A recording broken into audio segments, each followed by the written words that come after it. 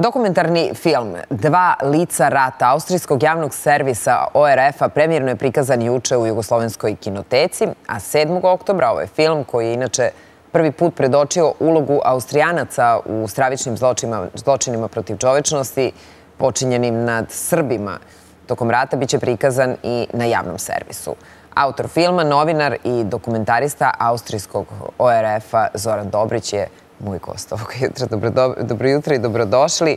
Hvala. I, e, dakle, šta mi je interesantno bilo? Dakle, e, juče ta bioskopska premijera u kinoteci, u Muzeju žrtava genocida koji su inače podržali ovaj projekat, su posebno naglasili e, da je film prikazan u istom prostoru u kome je u februar 1946. godine suđeno najvišim oficirima Wehrmachta za ratne zločine počinjene na tlu Jugoslavije tokom e, drugog svjetskog rata. Kakve utiske nosite sa premijere? I u stvari od te 2000 i, ako se ne varam, je li 21. bilo kada je prvi put prikazan film do danas, koja je emocija koja vas prati zbog urađenog filma? I ja vidim dva pitanja. Odgovorit ću prvo na ovo prvo koje ste postavili, e, zato što je za mene apsolutno važno. E, najiskrenije bio sam potpuno iznenađen samim sobom u tom prostoru, e, zato što je ambijent prostor kinoteke sa onim svojim nišicama tamo, podsjeća na sve stare američke filmove u nekim sudskim dvoranama, jeli? I dok sam stajao tamo na onoj pozornici razgovarao sa ljudima, gledao sam te austrijske generale i austrijske vojnike, među njima naravno Aleksandra Lera, koji je bio, koji je naredio bombardovanje Beograda i osjetio stravičan bol stravičan bol koji se zapravo slagao sve ove godine dok sam radio na tom projektu. E, vi, vi možete da zamislite na osnovu slika koje se vide u filmu e, koliko su to teške e, slike, koliko su to teške situacije u kojima se ljudi nalaze ili su se nalazili. Ovdje pričam o deci koje su u NDH bila mučena, ubijana i šta ja znam. Da, ali ispričajte nam, hoću da mi kažete pre nego što možda je trebalo i to kao prvo pitanje da vam objasnim. Kakva je priča? E, evo odmah, samo bih htio da završim ovo. Znači, sve te slike koje su se nakupile u meni, sve te emocije e, koje se stvaraju, jer vi gledate stotinu puta jedan te isti kadar i tu ima stvarno mučnih kadrova. Sve se to skupilo i juče u toj e, e, dvorani kinoteke, u toj sudskoj sali koja je to bila 46. godine, se sve to negde otvorilo, izašlo iz mene i nekako me pročistilo. I to je ono stvarno posebno. Bio sam iznenađen i emocijama i rečima koje sam upotrebio i nalazio za sve to. I to je, e, negde se zatvorio taj krug što se tiče mog rada na toj temi. A što je mnogo važno. Da. To je mnogo važno i za vaš e, negde spokoj. Ali e, koju priču se želi da ispričate? Lako je to sad mi kažemo, ne znam, e, austrijski javni servis, stravični zločini, počinjeni nad Srbima tokom rata.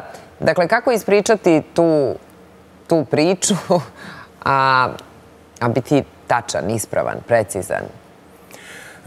Ono što me je vodilo i ono što mi je uistinu bila namera jeste da mojim austrijskim sugrađanima ispričam ove dve priče u kojem su njihovi preci odigrali veoma, veoma bitne uloge. U jednom slučaju katastrofalno, a u drugom veličanstveno, o kojima one ništa nisu znali. Mhm. I to je taj trenutak... Koje dve priče? Pa, evo, jedna priča je sustreljanja Srba od e, e, 1941. Godine od septembra pa do 5. decembra, masovna streljanja civila koje je naredio austrijski general Franz Böhme, ili Beme, kako ga mi zovemo. A druga priča je spašavanje srpske dece na prostoru ondašnje NDH, nezavisne države Hrvatske, e, koje je pre svega i najviše mora da se, zbog čega mora da se zahvali Dijani Budisavljević, Austrijanki iz Innsbrucka, koju smo i mi i Austrijanci zaboravili do pre par godina. Ni o jednoj, ni o drugoj priči oni nisu znali skoro ništa. Zapravo o ovoj prvoj masovnim streljanjima apsolutno ništa. Zašto? Zašto je to tako? E, vidite, postoje mnoge stvari e, koje ni mi sami ne znamo. E, ja sam bio iznenađen konkretno pričam o Dragincu, e, to je mesto gde se dogodila najstrašnija masovna streljanja.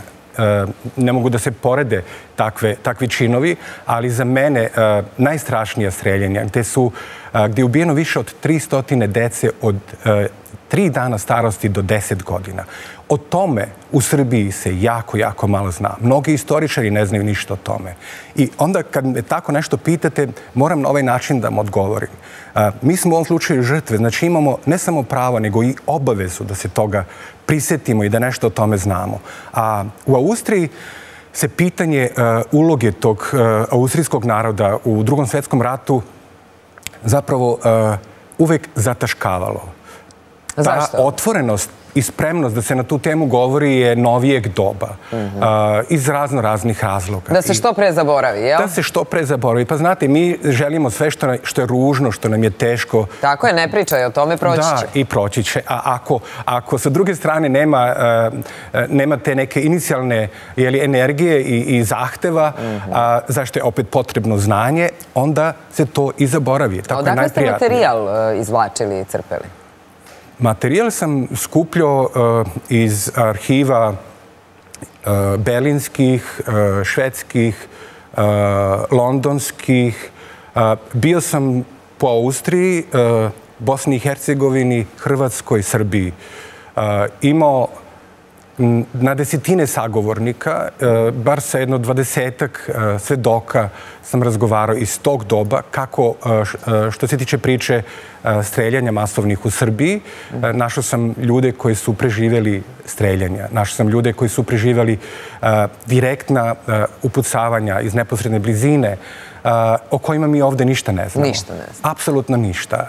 Našao sam ljude u Hrvatskoj koji nisu bili samo mučeni od svojih usvojitelja, nego su tretirani kao njihova rođena dece. I do dana današnjeg žive na njihovim ondašnjim posjedima. Ali sam našao i odrasle ljudi koji su onda bili deca i koji su doživjeli ozbiljnu torturu kao deca od ljudi koji su ih usvojili.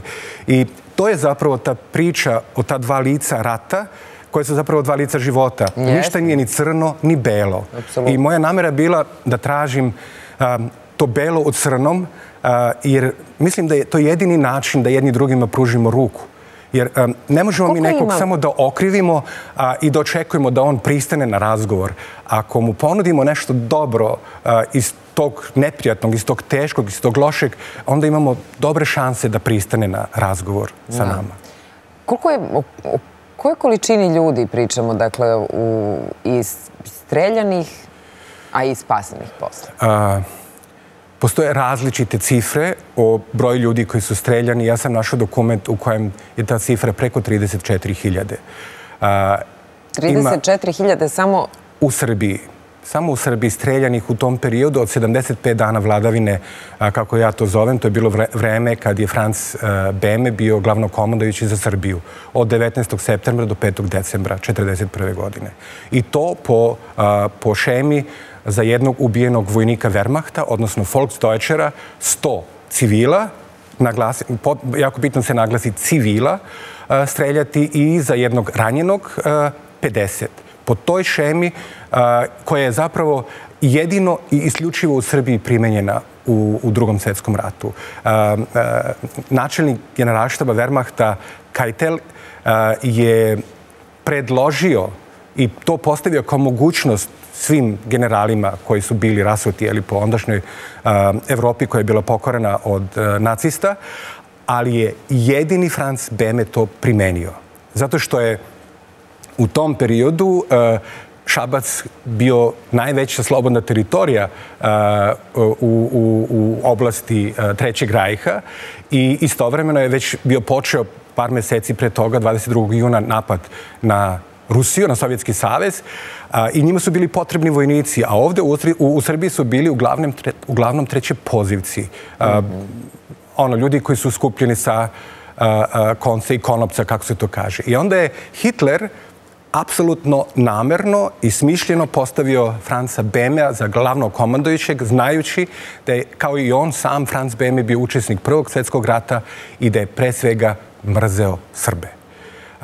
I on onda poziva sljedećeg generala koji je bio komandant 342. pešadijske divizije u Francuskoj, koja dolazi 19. septembra u Srbiju i kreću najstrašniji pokolji u Srbiji. A što, što je mrzeo Srbe? Ili ima taj podatak? Ima podatak. On je 10. oktobra 10. oktobra poslao jedan, jedno pismeno saopštenje koje su svi generali morali, odnosno i, niži oficiri morali da pročitaju svojim jedinicama u kojem on otprilike ovako kaže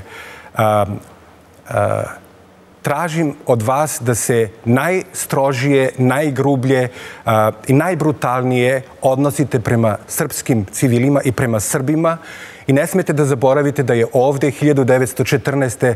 krv naše braće tekla u potocima zbog podlih i podmuklih Srba.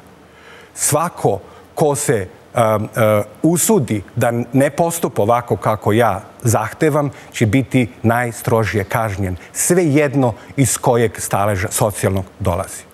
Onda možete da zamislite koja je to mržnja, koja je to energija i koja je emocija koja je iza toga stajala. Dakle, koliko ste, koliko ste rekli da preživelih žrtava se pojavljaju u vašem filmu? Ste rekli to? Nisam rekao koliko. U, u filmu se pojavljuje malo preživelih. Ja mislim da se iz Draginca pojavljuje samo jedan čovek i mislim da imam troje svedoka što se tiče dece koje su spašene od Dijane Budisavljević. Koliko ima Dijanine dece? Ja imam zanimljive podatke.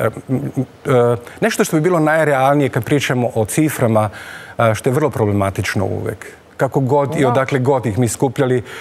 Ono što može, ja mislim, sa sigurnošću da se kaže da je Dijana Budisavljević spasila najmanje 7500 srpske dece od sigurne smrti. Jako mnogo dece koje je ona spasila iz logora su na putu do Zagreba umrla. Dešavalo se da u jednom transportu uh, bude po 300 dece mrtvo.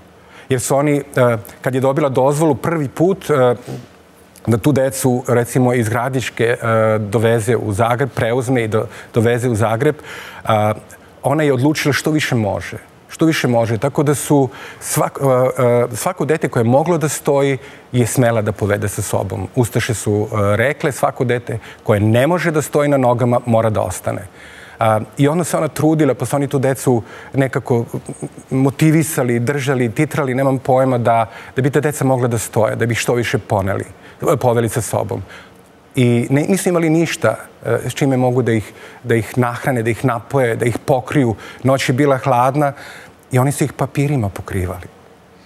I kad su stigli u Zagreb, e, kad su stigli u Zagreb, e, ta deca su pre svega smeštana u Gluhonijemi zavod, to je jedan centar e, za gluhonemu decu u Zagrebu, gde je jedan divan, divan čovek, gospodin Bresler, omogućio Dijani Budisavljević da tu decu tamo okupa, eh, da ih eh, očiste od svih mogućih eh, bolesti, nego bakterija, bacila, infekcija, šta ja znam, i da ih napoje i, i nahrane. I ta deca su bukvalno umirala od voza do, do njih. Umirala su uh, u, u, u samom centru jer su bila toliko iznemogla. To su deca istoričari govore, Istoričari govore da je bilo, da deca, nije bilo deteta koje je imalo bar deset bolesti od pneumonije, preko disenterije, preko tifusa, trbušnog, pegavca. I možete zamislite decu, ja sam vidio slike, dece koje leže na podu, koja nisu danima ništa jela. U Sisku, na primjer, to je uistinu bio jedini logor za decu, kad govorimo o logorima za, za decu, u Sisku su ih držali namerno na promaj, na čistom betonu, na čistom betonu bez ičega, da bi ta deca umrla. Znači, namera Ustaše je bila da ta deca umru. Jasenovac je bio logor smrti i on nije bio logor kroz, kroz koje ta deca, e, e, ta deca trebalo da prođu, nego tamo trebalo da skončaju, kao što jesu skončavali. I Dijana Budisavljević ih je koliko god je ona to mogla, ne sama, uh, i to moramo da kažemo, uh, i to mi je jako, jako važno, pošto smo mi skloni, uh, ja mislim, upravo iz neznanja, da pljujemo i po Hrvatskoj, i po ondašnjoj nezavisnoj državi Hrvatskoj, ali je i tada ta akcija Dine Budisavljević bila jedino mogla, jedino, moguća, jedino zbog toga što je par visoko kotiranih nacista, između ostalih Glez von Horstenau, koji je bio glavno komandojući general za Hrvatsku, austrijanac, zajedno sa još jednim drugim austrijskim oficirom, izvršio pritisak na Slavka Kvaternika, maršala ondašnje Hrvatske, nezavisne države Hrvatske, koji je bio Ustaša i čiji je sin Dido Kvaternik bio Eh, šef Ustaške policije i eh, direktor svih koncentracijnih logora u Hrvatskoj. I taj Dido, taj zli, možemo da zamislimo kako izgleda taj neki šef eh, Ustaške policije i koje su mu emocije, nameri i odnosi prema Srbima bile, ali je on na kraju dao dozvolu Dijani Budisavljević da može tu decu da izvozi iz logora. Bez toga nikada ništa se ne bi moglo da dogodi. A gde ih je uh, završao u Zagrebu i? Deca su dovožena na samom početku pre svega u Zagreb i onda su iz e, doma za gluhonjemu, e, e, za gluhonjemu decu prenošena u bolnice, davana su roditi, ljudima na usvajanje. To je jedan proces koji je nešto malo kasnije započeo, ne odmah na samom početku kad su deca stizala u Zagreb. Onda su u različite domove do jednog trenutka... Dobro, su ostajala u Hrvatskoj, to je moje pitanje. Ostajala su u Hrvatskoj, da. Isključivo u Hrvatskoj. Uh, i... Nisu se vraćali u Srbiju? Ne, ne, nisu imali gde da se vrate u Srbiju. Njihovi roditelji su bili ili ubijeni u, uh, pre svega u Jasanovcu i u Gradiškoj, ili su bili negde u logorima u Nemačkoj, u Trećem rajku, bilo gde. Mali broj se ljudi tih uh, kasnije vratio, a još manji broj njih je uspio da se sretne sa svojom decom. Ali jedan broj je uspeo. Jedan broj jeste i to uglavnom zahvaljujući kartoteci koje je Dijana Budisavljević vodila uh -huh. uh, i uh, to je bilo nešto jako, jako komplikovano. Možete da zamislite kad je tu dete koje ima godinu dana, ne govori, uh, mamu su mu i tatu ubili i uh, ne zna da, ni da kaže kako se zove, kako će da ga zavedete. Onda su tražili beleg neki, tražili su, ne znam, poseban oblik nosa ili bilo šta što je tu moglo da bude. Pa su pitali drugu decu odakle, da li znaju odakle je ta beba ili šta ja znam. I onda su to sve zapisivali u toj svojoj kartoteci po imenice. I onda, 45. godine, samo nedelju dana, pošto je Zagreb oslobođen, uh, negdje između 15. i 20. maja, dolaze komunisti iz ondašnjeg Zagreba i oduzimaju Dijani Budisavljević čitavu kartoteku. E, uz jedno neverovatno ponižavanje koje je ona doživjela, e, uskraćena je bila mogućnost što je ona i sve snage želela i zbog čega se trudila da toj deci stvarno nađe roditelje, a u slučajima gde ih nije više bilo rođake koji će ih preuzeti i to više nije bilo moguće jer je kartoteka njena bila uzeta ona je još za vreme rata dobijala, i ja sam gledao takve pozive, karte iz, na primjer, iz Treblinke, iz nekoliko logora, koji se, gdje su je majke slale dopisnice i pitale da li zna nešto o njihovoj deci. Tako da ona bila uskraćena za tu mogućnost da tu decu na kraju odvede do roditelja. Recite mi za kraj šta kažu o filmu neki stručnjaci, austrijski istoričari? Kako, su, kakve ste komentare dobili tamo? Osim toga što ne znaju, ok, ali šta kažu? E, gledanost filma je bila izuzetno visoka. Ja sam bio najiskrenije zbunjen reakcijama koje su bile isključivo pozitivne. E, ljudi su bili s jedne strane frapirani e, time šta se događalo i šta su njihovi sugrađani činili u drugom svjetskom ratu a s druge strane su bili zahvalni što su tu priču, odnosno te priče čuli. To su otprilike bili sadržaj njihovih mailova, poruka ili mojih kolega.